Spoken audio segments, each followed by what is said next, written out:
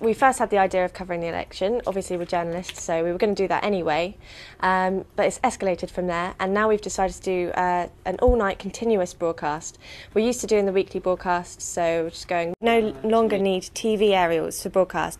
We're streaming straight to the internet, allowing people to easily access the information. This project's absolutely massive. Uh, we've looked it up on Wikipedia and no one's done anything bigger than this. But the difference is, is that we're actually going out to a live audience and this is what makes it real. It's not just a student project done for a deadline, done for a mark. We're doing it in real life and people are going to be watching. This region is one of the most important fights between political parties. We've got uh, lots of marginal seats here. We've got a fight between the Conservatives and the Liberals. In the um, some of the urban areas, we've got uh, Labour. We've got outside broadcasts from key battlegrounds. We've got constituency profiles. We've got studio experts. We've got a live multi-camera studio, live gallery production, and also regular updates.